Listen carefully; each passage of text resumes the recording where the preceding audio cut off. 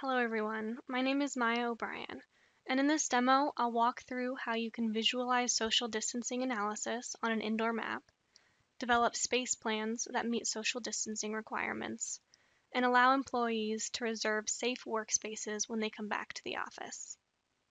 We'll start by looking at the Indoor Viewer, a web application that lets you visualize data for your facilities on indoor floor plan maps. These maps give you a central system of record for your facilities. Here, I'm looking at a map of the Esri campus. By selecting a specific building, I can get an interior view of the floor plan.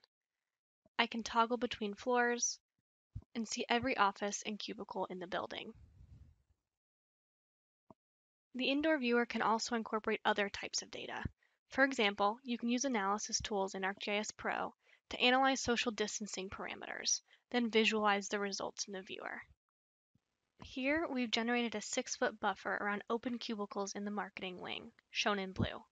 This represents the minimum social distancing zone needed for employees to safely occupy each cubicle. We've also highlighted areas where these zones overlap, shown in red. This lets us see which cubicles have social distancing conflicts. Using these results from the social distancing analysis, we can make decisions about how to reassign employees to make sure everyone has a safe workspace.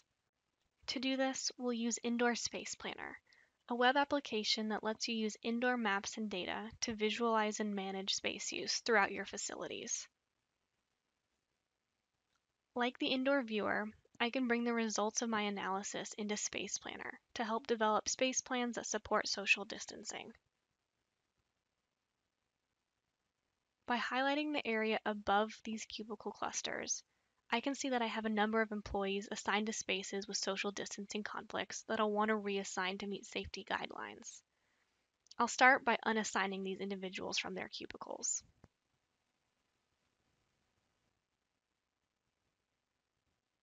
I then can start to quickly reassign employees to make sure there's only one person per cubicle cluster.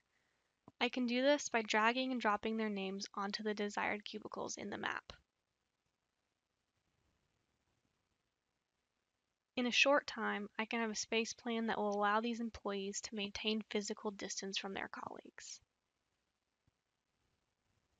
In some cases, social distancing guidelines may require us to operate at less than our typical maximum workspace capacity.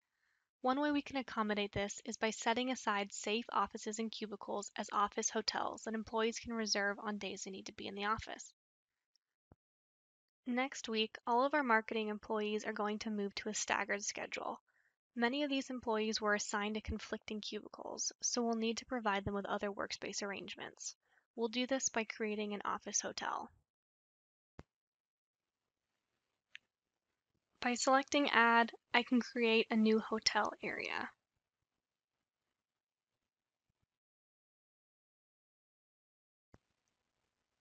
Next, we can select every cubicle in this wing and assign them all to our marketing office hotel.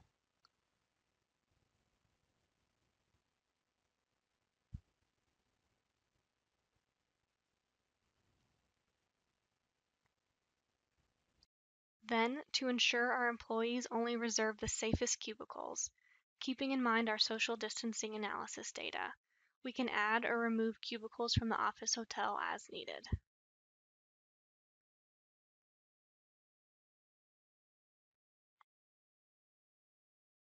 By doing this, we've identified a set of eight cubicles that our marketing team can reserve when they come into work.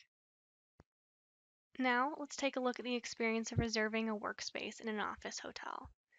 By using the ArcGIS Indoors mobile application, a member of our marketing team can quickly find and reserve an office hotel in a few simple steps.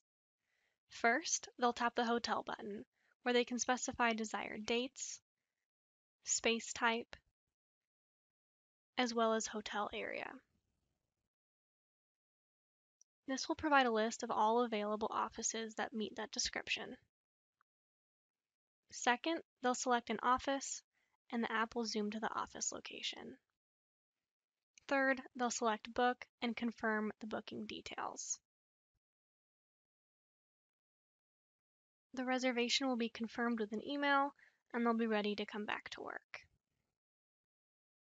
In three steps, they reserve their safe workspace. Lastly, if need be, they can also reserve a conference room directly from the ArcGIS Indoors mobile application. By quickly locating a conference room and selecting Schedule, they can view conference room availability and add a new calendar event.